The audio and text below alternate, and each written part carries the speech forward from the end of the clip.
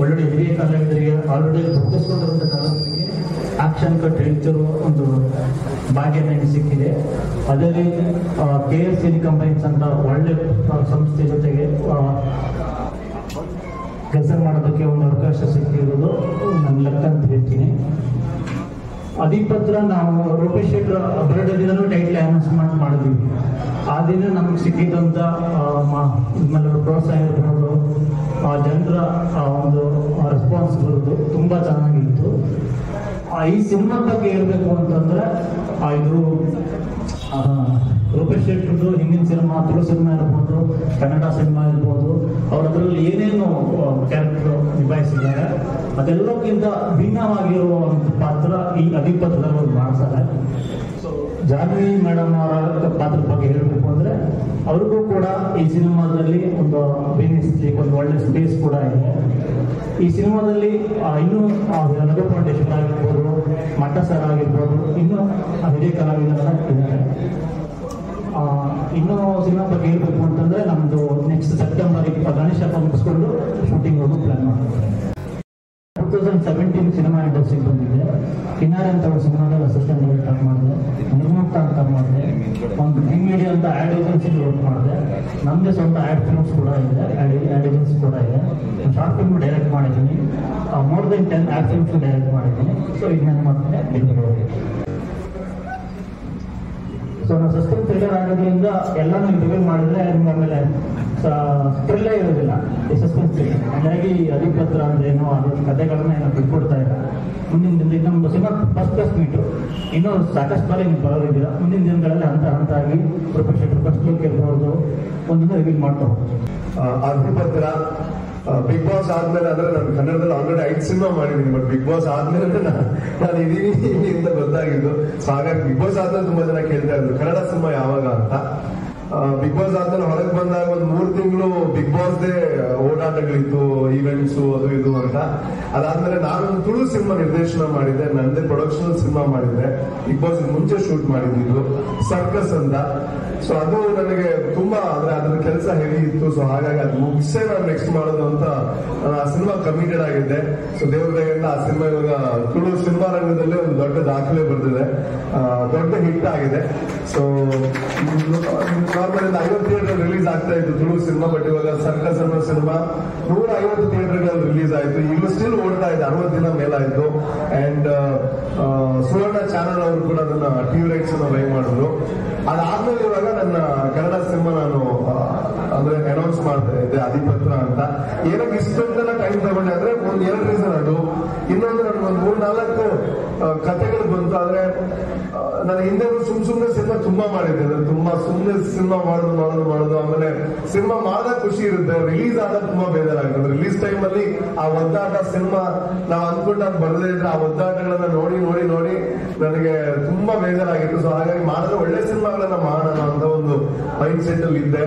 And ಈ cinema ತಂಡ ನನ್ನನ್ನು ಮೀಟ್ ಆದಾಗ ನಮ್ಮ ಪ್ರೊಡ್ಯೂಸರ್ಸ್ ಮುಂದೆ ಬರದೇ ಇಲ್ಲ. ದುಡ್ಡಷ್ಟೇ ಆಗ್ತಾರೆ ಅವರು. ಅಂಡ್ ಡೈರೆಕ್ಟರ್ ಸರ್ ಬಂದು ನನಗೆ ಲೈನ್ ಹೇಳಿದಾಗ ಇಂಟ್ರೆಸ್ಟಿಂಗ್ ಅಂತ ಅನ್ನಿಸ್ತು. ಚೆನ್ನಾಗಿದೆ, ಒಂದು ನಾರ್ಮಲ್ ಸಿನಿಮಾ ಅಂತ ಅನ್ನಿಸ್ತು. ಆದ್ರೆ ಯಾವಾಗ, ಅಂದ್ರೆ ಸರ್ಕಸ್ ಎಲ್ಲ ತುಂಬಾ ಚೆನ್ನಾಗಿ ಮಾಡಿದಾಗ ಅವ್ರು ಕೇಳ್ತಾ ಇದ್ರು ನಮ್ದು ಯಾವಾಗ ನಮ್ದು ಯಾವಾಗ ಅಂತ. ಅಂಡ್ ಅವರು ಸ್ಕ್ರೀನ್ ನನಗೆ ಎಕ್ಸ್ಪ್ಲೈನ್ ಮಾಡಿದ್ರು. ಆವಾಗ ಐ ವಾಸ್ ಲೈಕ್ ಇಲ್ಲ, ಇದು ಈ ಸಿನಿಮಾ ಡೆಫಿನೆಟ್ಲಿ ಮಾಡಬೇಕು ಅಂತ. ಬಿಕಾಸ್ ಅವರ ಮೊದಲ ಸಿನಿಮಾ ಆಗಿರ್ಬೋದು, ಅವ್ರ ಸ್ಕ್ರೀನ್ ನನಗೆ ಎಕ್ಸ್ಪ್ಲೈನ್ ಮಾಡಿದಾಗ ಎಷ್ಟು ಪ್ರಿಪೇರ್ ಆಗಿದ್ರು ಅಂತಂದ್ರೆ ಎವ್ರಿ ಸೀನ್ ಅವರು ಡ್ರಾ ಮಾಡಿದ್ರು ಎವ್ರಿ ಸೀನ್ ಕೆಲವೊಂದು ಶೂಟ್ ಮಾಡ್ಕೊಂಡ್ರೆ ಅನಿಮೇಟೆಡ್ ಫಾರ್ಮ್ಯಾಟ್ ಅಲ್ಲಿ ನನ್ಗೆ ತೋರಿಸಿದ್ರು, ಹಿಂಗ್ ಬರುತ್ತೆ, ಹೀಗ್ ಬರುತ್ತೆ. ನನಗೆ ಅವ್ರಿಗೆ ತುಂಬಾ ಧೈರ್ಯ ಬಂತು. ಒಂದು ಒಂದು ವಿಷನ್ ಇದೆ ಅವರಿಗೆ. ಅಂಡ್ ಹೀಗೆ ಬರಬೇಕು ಅಂಡ್ ಹೀಗೆ ಸಿನಿಮಾ ಇರಬೇಕು ಅನ್ನೋ ಒಂದು ಕ್ಲಾರಿಟಿ ಇದೆ. ಸೊ ಹಾಗಾಗಿ ತುಂಬಾ ಧೈರ್ಯದಿಂದ ಒಂದು ಒಳ್ಳೆ ಸಿನಿಮಾ ಮಾಡ್ತಾರೆ ಅನ್ನೋಂತ ಒಂದು ನಂಬಿಕೆಯಿಂದ ಈ ಸಿನಿಮಾ ನಾನು ಒಪ್ಕೊಂಡಿದ್ದೀನಿ. ಅಧಿಪತ್ರ. ಅಂಡ್ ಟೈಟ್ಲು ಕೂಡ ಅಧಿಪತ್ರ ಅಂದಾಗ ನಮಗೆ ಅಧಿಪತ್ರ ಏನಿದು ಅಂತ ನಾನು ಕೇಳಿದೆ ಬಟ್ ಅಧಿಪತ್ರ ಅಂದ್ರೆ ಅಧಿಪತ್ರ ಹೊರಡಿಸೋದು ಒಂದು ಅರ್ಥ ಇರ್ಬೋದು. ಅದರ ಜೊತೆಗೆ ಆ ನಾಲ್ಕು ಪದಕ್ಕೂ ಒಂದು ಅರ್ಥ ಇದೆ. ಬಟ್ ಅದು ಅವರೇ ರಿವೀಲ್ ಮಾಡಿದ್ರೆ ಚೆನ್ನಾಗಿರುತ್ತೆ, ನಾನು ರಿವೀಲ್ ಮಾಡೋದು ಹೋಗಲ್ಲ ಸೊ ಹಾಗಾಗಿ ನಮ್ಗೆ ಇನ್ನೂ ಇಂಟ್ರೆಸ್ಟಿಂಗ್ ಆಗಿದೆ ಅವರ ಪ್ಲಾನ್ಸ್ ಏನಿದೆ, ಅವರ ಆಡ್ ಏಜೆನ್ಸಿನಲ್ಲಿ ಕೆಲಸ ಮಾಡಿರೋದ್ರಿಂದಾಗಿ ಅವರ ಪ್ರಮೋಷನ್ ಪ್ಲಾನ್ಸ್ ತುಂಬಾ ಚೆನ್ನಾಗಿದೆ. ಒನ್ ಬೈ ಒನ್ ಏನೇನೆಲ್ಲ ಮಾಡಬೇಕು ಅಂತ ಆಲ್ರೆಡಿ ರೂಟ್ ಮ್ಯಾಪ್ ಎಲ್ಲ ಪ್ಲಾನ್ ಮಾಡ್ಕೊಂಡಿದ್ದಾರೆ, ಏನ್ ಮಾಡಬೇಕು ಅಂತ. ಸೊ ಈ ಸಿನಿಮಾ ಮಾಡೋದಕ್ಕೆ ಮೊದಲ ರೀಸನ್ ಅವರಲ್ಲಿರುವಂತಹ ಕ್ಲಾರಿಟಿ ಅಂಡ್ ಅವರು ಇವಾಗ ಸಿನಿಮಾ, ಯಾವ ರೀತಿಯ ಕಥೆ ಅಂತ ಹೇಳೋದಕ್ಕಿಂತ ಇವಾಗ ಬರ್ತಾ ಇರುವಂತಹ ಯಾವುದೇ ಸಿನಿಮಾ ಆಗಿರ್ಬೋದು, ಜನರಿಗೆ ಕುತೂಹಲ ಮೂಡಿಸುವಂತದ್ದು ಯಾವ ರೀತಿ ಅದನ್ನ ನಾವು ಪ್ರೆಸೆಂಟ್ ಮಾಡ್ತೀವಿ ಅಂತ ಸೊ ಆ ಪ್ರೆಸೆಂಟೇಷನ್ ತುಂಬಾ ಚೆನ್ನಾಗಿದೆ ಅವರು ಸೊ ಹಾಗಾಗಿ ತುಂಬಾ ಖುಷಿಯಿಂದ ಈ ಸಿನಿಮಾ ಒಪ್ಕೊಂಡಿದ್ದೀನಿ. ಆಗುತ್ತೆ ಸದ್ಯದಲ್ಲಿ. ಸೊ ಅದಕ್ಕೆ ಆಲೋಚನೆ ಮಾಡ್ತಾ ಇದ್ದೆ, ಅಯ್ಯೋ, ತುಂಬಾ ವರ್ಷ ಇದು ಆ ಗೆಟಪ್ ಅಂದ್ರೆ ದಾಡಿ ಎಲ್ಲ ತೆಗೆದು ಅಂತ. ಬಟ್ ಈ ಸಿನಿಮಾ ಡೆಫಿನೆಟ್ಲಿ ಅಗತ್ಯ ಇದೆ. ಸೊ ಹಾಗಾಗಿ ಸದ್ಯದಲ್ಲಿ ಶೂಟ್ ಶುರು ಆಗುತ್ತೆ ಅವಾಗ ನನ್ನ ಲುಕ್ ಎಲ್ಲ ಕಂಪ್ಲೀಟ್ಲಿ ಚೇಂಜ್ ಮಾಡಬೇಕಾಗುತ್ತೆ. ಇವಾಗ ನನಗೆ ಕೆಲವೊಂದೆಲ್ಲ ಕಮಿಟ್ಮೆಂಟ್ಸ್ ಇದೆ. ಹಳೆ ಕೆಲವು ಶೂಟ್ಸ್ ಎಲ್ಲ ಪೆಂಡಿಂಗ್ ಇದೆ. ಅದನ್ನ ಟಕ್ಕಂತ ಮುಗಿಸಿ ಆ ಗೆಟಪ್ಗೆ ನಾನು ಆಗ್ಬೇಕಾಗುತ್ತೆ ಸೊ ನಿಮ್ಮ ಸಹಕಾರ ಬೇಕು. ಇವಾಗ ಸರ್ಕಸ್ ಸೆಕೆಂಡ್ ವೀಕ್ ಇಲ್ಲೆಲ್ಲ ಪ್ರೆಸ್ ಮೀಟ್ ಮಾಡಿ ಬೆಂಗಳೂರಲ್ಲೂ ಕೂಡ ಇಪ್ಪತ್ತೈದು ದಿನ ಓಡೋ ತರ ಮಾಡಿದ್ರಿ ನೀವು. ಸೊ ನಿಮ್ಮ ಸಹಕಾರ ಅಧಿಪತ್ರ ಸಿನಿಮಾಗೂ ಇರ್ಲಿ ಅಂತ ಆಶಿಸ್ತೀನಿ. ಅಂಡ್ ಜಾನ್ವಿ ಅವ್ರಿಗೂ ಆಲ್ ದ ವೆರಿ ಬೆಸ್ಟ್ ಅಂತ ಹೇಳ್ತೀನಿ. ಅಂಡ್ ಇವತ್ತು ಪ್ರೊಡ್ಯೂಸರ್ ಹೇಳಿದ್ರು. ನನಗೆ ಅಂದ್ರೆ ಗೊತ್ತಿಲ್ಲ ಇದ್ದ ಇವ್ರ ಜೊತೆ ಫಸ್ಟ್ ಸಿನಿಮಾ ಪ್ರೊಡ್ಯೂಸರ್ ಜೊತೆ. ಹೇಳಿದ್ರು ಚೆನ್ನಾಗಿ ಮಾಡ್ತೀವಿ ಲಾಂಚ್ ಎಲ್ಲ ಸಕ್ಕಲಾಗಿರುತ್ತೆ ಹಂಗಿರುತ್ತೆ, ಹಿಂಗಿರುತ್ತೆ ಅಂತ. ಅಂದ್ಕೊಂಡಿದ್ದ, ಏನೋ ಮಾಡ್ತಾರೆ ಅಂತ. ಬಟ್ ತುಂಬಾ ಚೆನ್ನಾಗಿ ಮಾಡಿದ್ರೆ ಸರ್. ಒಂದು, ಬಿಗ್ ಬಾಸ್ ಆದ್ಮೇಲೆ ಒಂದು ಲಾಂಚ್ ಆಗ್ಬೇಕು ಅಂತ ಇತ್ತು ತುಂಬಾ ಚೆನ್ನಾಗಿ ಮಾಡಿದೀರಾ ಸಿನಿಮಾಗೆ ಏನೆಲ್ಲ ಬೇಕು ಅದನ್ನ ಕೊಡ್ತೀರಾ ಅನ್ನೋ ಅಂತ ಭರವಸೆ ಇದೆ. Thank you thank you so much Karavali ಒಂದು ಕಲ್ಚರ್ನ ಕೂಡ ತೋರಿಸ್ತಾ ಇದ್ದಾರೆ. ಅದ್ರ ತುಂಬಾ ಕಲ್ಚರ್ನ ತುಂಬಾ ಸಿನಿಮಾದಲ್ಲಿ ತೋರಿಸಿದ್ದಾರೆ. ಸೊ ಇದರಲ್ಲಿ ಇನ್ನೊಂದು ಕಲ್ಚರ್ನ ಟಚ್ ಮಾಡ್ತಾ ಇದ್ದಾರೆ. ಅದು ಇನ್ನೂ ಇಂಪ್ರೆಸಿವ್ ಆಯ್ತು ನನಗೆ. ಸೊ ಒಳ್ಳೇದಾಗ್ಲಿ. Thank you so much thank you so much ಮೊದಲಿಗೆ ನನ್ನ ಕೊಲೀಗ್ಸ್ ಅಂತ ಹೇಳಕ್ ಇಷ್ಟಪಡ್ತೀನಿ ಎಲ್ರು ಯಾಕಂದ್ರೆ ನಾನು ಮೀಡಿಯಾದಿಂದಲೇ ಬಂದವಳು. ನೀವು ನನಗೆ ಕೊಡ್ತಾ ಇರುವಂತಹ ಸಹಕಾರಕ್ಕೆ ನಾನು ನಿಜವಾಗ್ಲೂ ಚಿರಋಣಿ. ನಾನೇ ಎಕ್ಸ್ಪೆಕ್ಟ್ ಮಾಡಿರ್ಲಿಲ್ಲ. ಈಗಲೂ ನನಗೆ ಬರ್ತಾನೆ ಇದೆ ಮೊಬೈಲ್ ಅಲ್ಲಿ. ಪ್ರತಿಯೊಬ್ರು ಬರ್ತಾ ಇದ್ದಾರೆ. ಪ್ರಜಾವಾಣಿದು ಕೂಡ ನನಗೆ ಇವಾಗ ಲಿಂಕ್ ಕಳ್ಸಿದ್ರು. ಕೆಲವೊಂದೆಲ್ಲ ನಮ್ಮ ಟೀಮ್ ಪಿ ಆರ್ ತುಂಬಾ ಚೆನ್ನಾಗಿ ಮಾಡಿದ್ದಾರೆ. ಬಟ್ ಇನ್ನ ಕೆಲವರು ನನಗಿರೋ ಒಂದು ಪರ್ಸನಲ್ ಕಾಂಟ್ಯಾಕ್ಟ್ ಇಲ್ಲ ನಮ್ಮ ಹುಡುಗಿ ನಮ್ಮ ಜೊತೆ ಕೆಲಸ ಮಾಡ್ತಾ ಇದ್ದವರು ಅಂತ ಹೇಳಿ ನೀವು ತೋರಿಸ್ತಾ ಇರೋ ಪ್ರೋತ್ಸಾಹ ಇದೆಯಲ್ಲ, ಅದಕ್ಕೆ ಅನಂತ ಅನಂತ ಧನ್ಯವಾದಗಳು ನಿಮ್ಮೆಲ್ಲರಿಗೂ ಯಾಕಂದ್ರೆ ಅಧಿಪತ್ರ ಈಗ ಶುರು ಆಗಿದೆ. ಇವತ್ ಮುಹೂರ್ತ ಆಗಿದೆ. ಜಸ್ಟ್ ಒಂದು ಇಂಥ ಒಂದು ಸಿನಿಮಾ ಬರ್ತಾ ಇದೆ ಅಂದಾಗ್ಲೇ ಎಷ್ಟು ಚೆನ್ನಾಗಿ ನಮಗೆ ಪ್ರಮೋಷನ್ ಸಿಕ್ತು ಅಂದ್ರೆ ನನಗೆ ಎಲ್ಲರೂ ಕೇಳಿದಾಗ ಫೋನ್ ಮಾಡಿದಾಗ ಫಸ್ಟ್ ಕೇಳ್ತಾ ಇರೋದೇ ಅಧಿಪತ್ರ ಸಿನಿಮಾ ಬಗ್ಗೆ.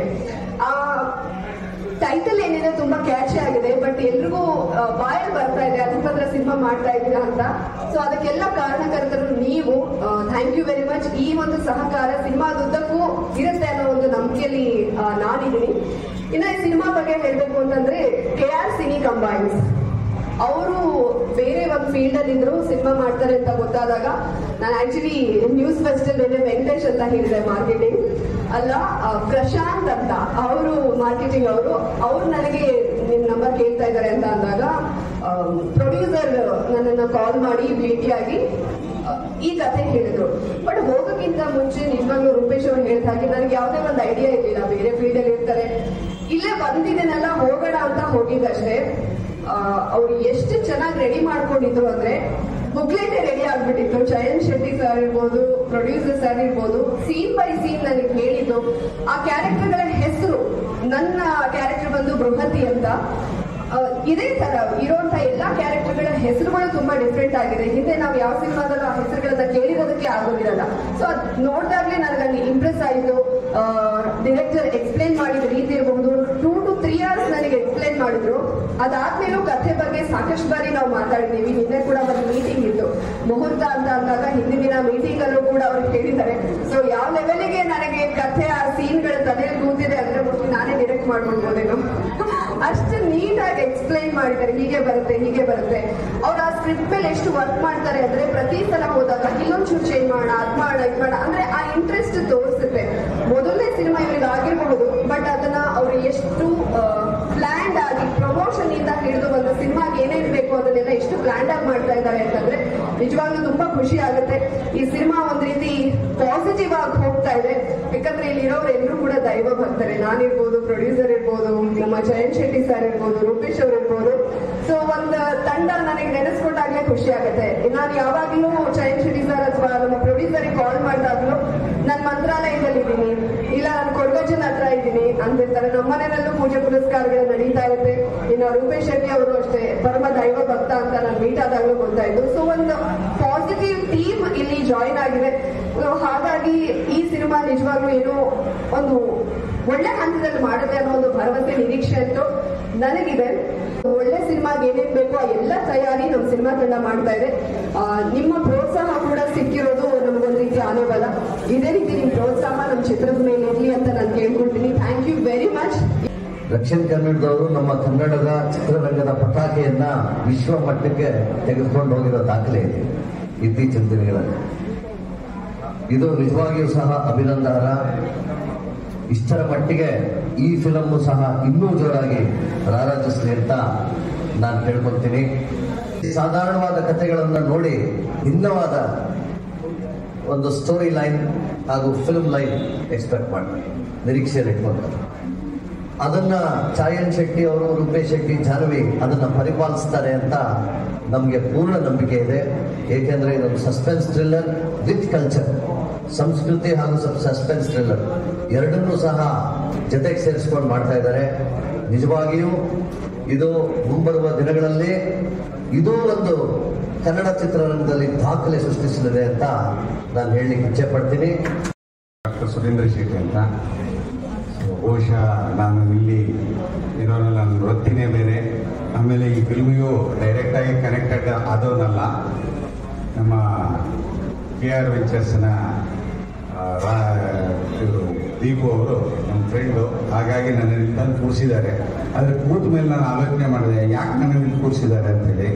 ಅಲ್ಲಿ ಚಯನ್ ಶೆಟ್ಟಿ ಇದ್ದಾರೆ, ಇಲ್ಲಿ ರೂಪೇಶ್ ಶೆಟ್ಟಿ ಇದ್ದಾರೆ. ನಮಗೆ ಸಂಖ್ಯಾಶಾಸ್ತ್ರದಲ್ಲಿ ಈ ಸಮ ಸಂಖ್ಯೆ ಅಷ್ಟು ಒಳ್ಳೆದಲ್ಲ, ಬೆಸ ಸಂಖ್ಯೆ ಬರುತ್ತೆ. ಸೊ ಹಾಗಾಗಿ ನಾವು ಇಲ್ಲಿ ಬೆಸ ಸಂಖ್ಯೆ ಮಾಡಲಿಕ್ಕೆ ಮೂರಾಗಲಿಕ್ಕೆ ಸುರೇಂದ್ರ ಶೆಟ್ಟಿ ಒಂದು ಇರಲಿ ಅಂತ ಕರ್ಕೊಂಡು ಬಹುಶಃ ಕೂರಿಸಿದ್ದಾರೆ ಅಂತ ಅನ್ಸುತ್ತೆ.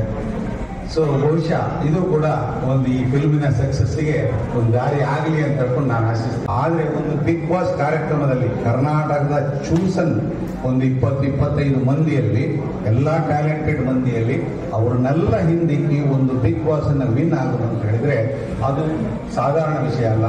ಅದು ಅಂತ ಒಂದು ಟ್ಯಾಲೆಂಟ್ ರೂಪೇಶ್ ಹತ್ರ ಇದೆ. ಅದು ಈಗಾಗಲೇ ಈಗಾಗಲೇ ಅವರು ಮಾಡಿರುವಂತಹ ತುಳು ಫಿಲ್ಮ್ ಸರ್ಕಸ್ ಅಲ್ಲಿ ಅವರ ಟ್ಯಾಲೆಂಟ್ಸ್ ಅನ್ನ ತೋರಿಸಿದ್ದಾರೆ.